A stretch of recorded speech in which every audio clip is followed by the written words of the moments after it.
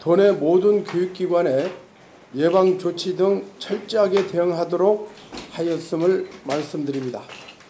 아울러서 일일 모니터링을 강화해서 유사 증상이 발견될 경우 즉시 보고하여 의료기관의 진료를 받을 수 있도록 안내 및 조치를 하였습니다. 또한 상시 운영하던 감염병 대책반을 교육감님을 본부장으로 격상해서 상황실을 운영하고 있음을 말씀드립니다. 현재 격리되거나 확진자 보건복지부에서 확보한 메르스 환자와의 접촉자 명단에 도내 학생은 없음을 말씀드립니다. 학생과 학부모님들께서는 현혹되지 말고 평상시 손 씻기 등 개인 위생 수칙을 준수하시기 바라고 발열 및 기침, 호흡 곤란 등 호흡기 증상이 있는 경우에 일반 마스크를 착용하고 즉시 의료기관에 신고해서 진료를 받으시면 되겠습니다. 차후 확진 학생 및 교직원이 발생하면 학교장, 보건당국과 긴밀한 협조를 통해서 적극적인 예방 활동의 차원에서 휴업을 검토하겠습니다. 학생 및 교직원들이 안전하게 학교 생활을 할 수 있도록 최선의 노력을 다할 것을 말씀드립니다. 고목초등학교가 수학여행 가서 오늘 돌아오고 있습니다. 그래서 우리 도내 유관기관 뭐 보건이라든가 질병관리본부라든가 검역소라든가 등등 그 병 종합병원하고 대책 회의할 때 그런 이야기들을 했습니다.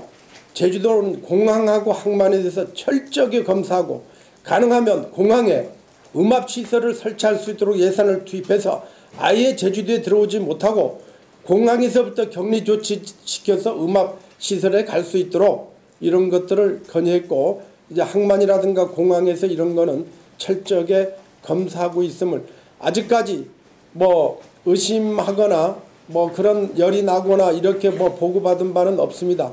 에, 그리고 수학여행과 관련해서는 다음 주에 이제 수학여행을 가려고 했던 학생들이 학교가 있는데 에, 다음 주에 일곱 개 학교가 지금 그 해외 내지는 타 시도로 수학여행을 계획하고 있습니다만은 다섯 개 학교는 학교에서 협의해 가지고 연기했음을 말씀드립니다.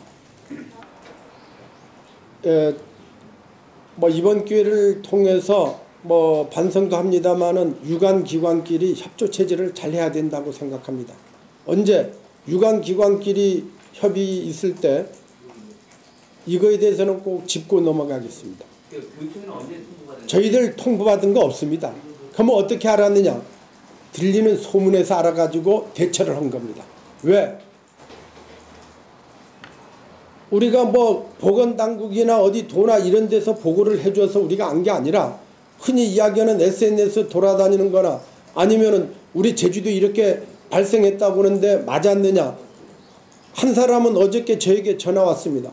학생 이렇게 했다고 온게 맞으냐 아직 확인된 거 없고 없다. 그래서 솔직하게 이야기하면은 제가 이게 도대체 무슨 말이냐 제가 제주대학병원으로 달려갔습니다. 가서 원장님께 우리 학생 여기 있습니까 없습니까 했더니 학생 와서 지금 검사 중이라고 해서 제가 이제 확인을 하게 된 겁니다.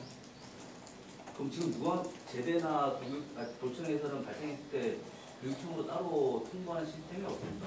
지금 그 시스템이 없는데 오늘 그 보건소 과장님하고 통화했는데 앞으로 이런 것은 유관기관끼리 잘 협조해서 학교가 혼란 오지 않고 또 정상적으로 교육과정을 운영할 수 있도록 하고 또 학부모님들에게 안심할 수 있도록 이거를 조치하기 위해서는 사전에 준비하지 양성 반응이 일어난 다음에 학교에다가 그때 가서 부랴부랴 이거를 조치하려고 하면은 혼란이 올 수 있어서 이런 것들은 잘 협조 체제가 될 수 있도록 협조 체제를 이루기로 했음을 말씀드립니다.